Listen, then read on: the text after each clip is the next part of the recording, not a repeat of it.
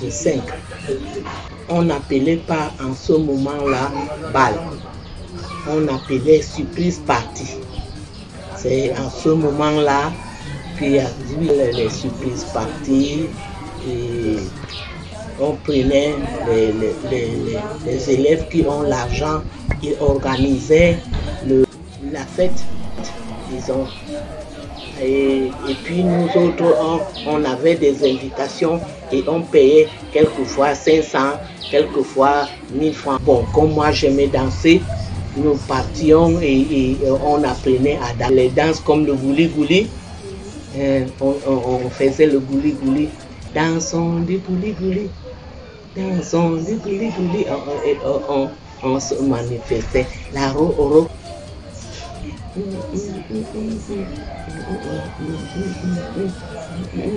Partait en cachette. Des fois même on venait, les autres venaient te prendre par la fenêtre. Tu vas les mettre comme ça.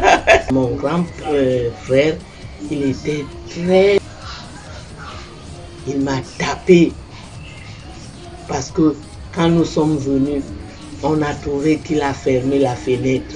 Puisqu'il est passé dans ma chambre, il n'a vu personne. Il, attendait donc. Quand on est venu, on a voulu ouvrir la fenêtre. Mais la fenêtre ne s'est pas ouverte. Il nous a trouvés dehors. Et je ne peux plus raconter, la scène était très triste. On n'avait pas de. On avait, on voulait, chacun voulait montrer comment il s'habille bien. C'était difficile chez nous de voir dans la salle des jeunes même la bouteille de bière. Même si elle est là, on la cachait sous, la table. Mais maintenant, tout ça est devenu comme si c'est normal. Les parents prennent garde et prennent vraiment ce problème à cœur pour former une génération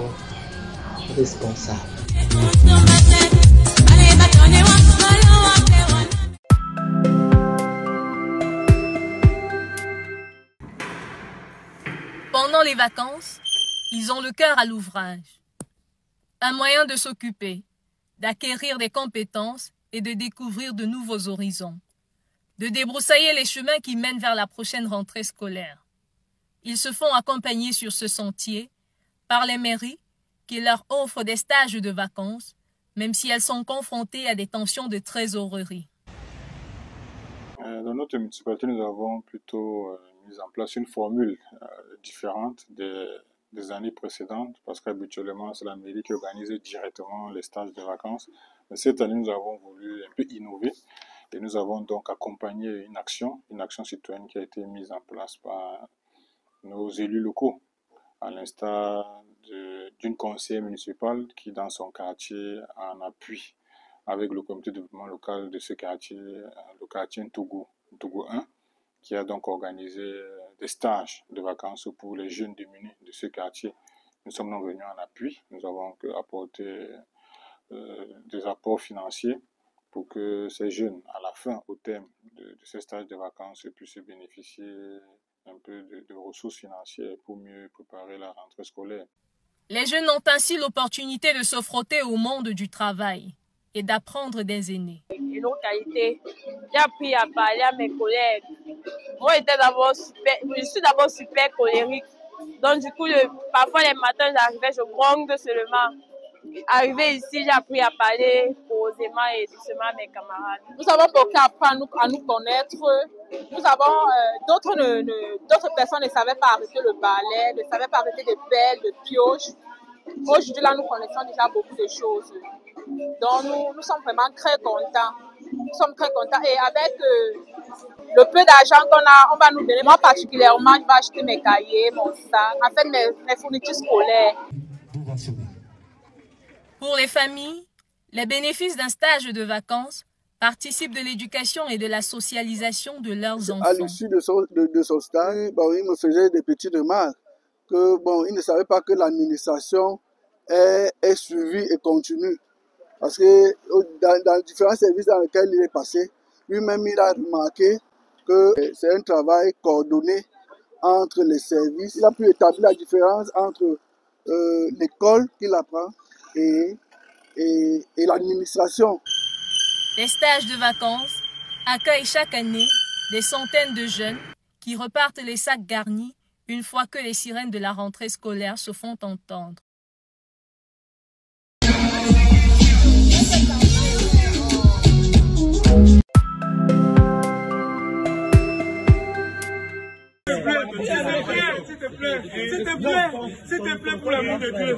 Cet homme en image est un présumé faux bailleur qui opère dans la ville de Douala, plus précisément dans les zones de Lokpom, Lokbessou, Makepe, Bonamoussadi.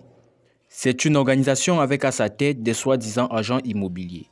Son mode opératoire, il repère des maisons mises par des vrais bailleurs, ensuite propose aux potentiels locataires à la recherche des maisons. Puis ils font un appel au monsieur sur la vidéo qui se présente dans l'appartement avec un paquet de reçus de paiement et un lot de contrats de bail. Une fois qu'il vous demande de verser l'argent, il vous demande de l'attendre dans l'appartement pour qu'il fasse appel au gardien pour vous présenter à ce dernier comme le nouveau locataire. Ce dernier a été rattrapé par la population et conduit au commissariat de Lokpom. Les citoyens qui ont été victimes de ces affres ont déposé leur plainte au niveau du commissariat de Lokpom où il a été gardé à vue depuis son arrestation.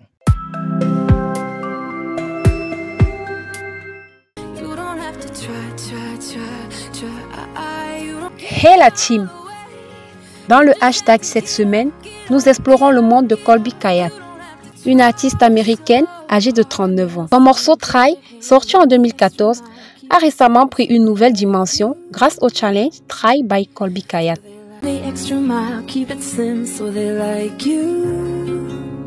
Ce défi a rencontré un succès phénoménal, totalisant plus de 32 millions de vues sur TikTok pour le hashtag Try Colby Kayat.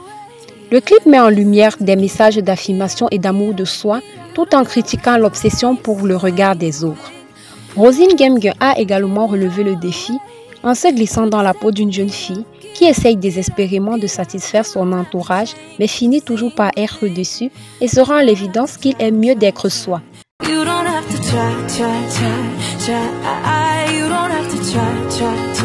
Le challenge est tel qu'il met en compétition plusieurs pays.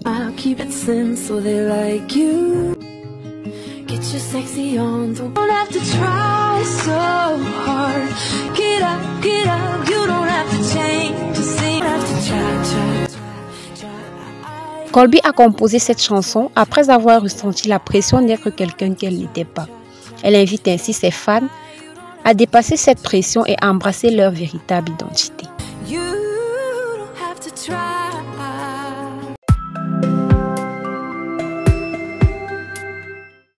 Carrying out an online search, um, the process is very easy.